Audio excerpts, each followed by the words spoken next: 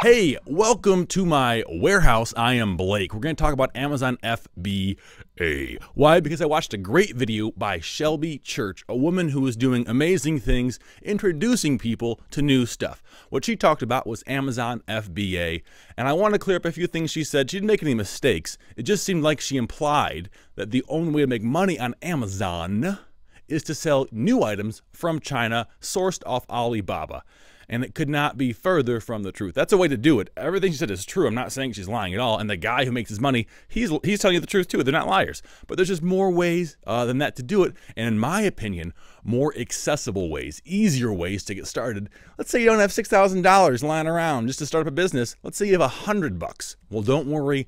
This video is perfect for you. But first, while I have your attention, please give the video a thumbs up and comment below. Give me a comment. Tell me, uh, tell me your first sale. And if you haven't sold anything yet, tell me what sale you think is going to be your first sale, what niche you're considering. Here's a hint.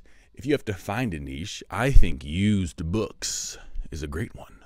I'm going to go over the four main things you as a seller, as an entrepreneur on Amazon using FBA must be cognizant of must be aware of. You're going to need an app to look up the prices. Uh, Amazon Seller app is a free one. How do you get that though? You must have an Amazon account first. You're going to need an unsecured line of credit, a credit card or a debit card that can run credit transactions. If you don't know if you can do that, go to the grocery store and try to run your debit card as credit. If it lets you, boom, that's what you got. The app is a database of everything on Amazon.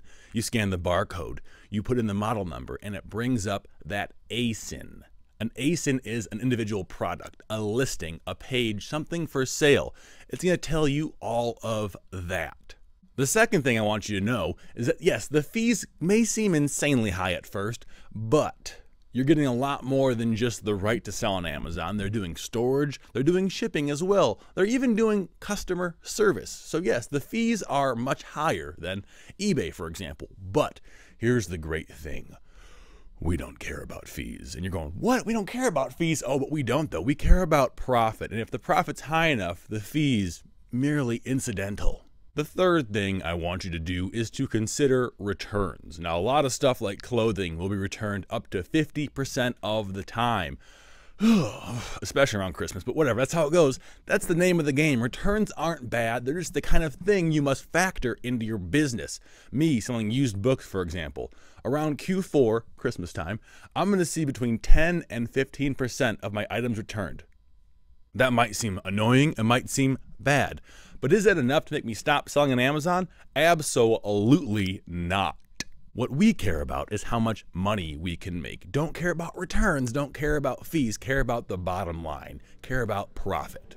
The last thing I want to leave you with is it takes a lot of work. You're going to see all these people saying, Oh, I made a million dollars in two hours. They're not telling you the truth.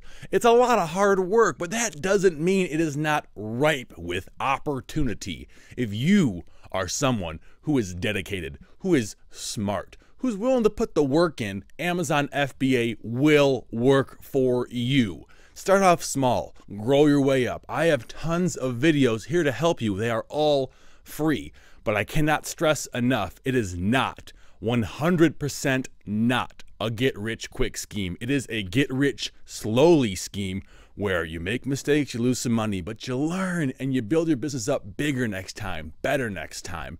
That's why we do this. Hope helped out, guys. And remember, don't be a shithead.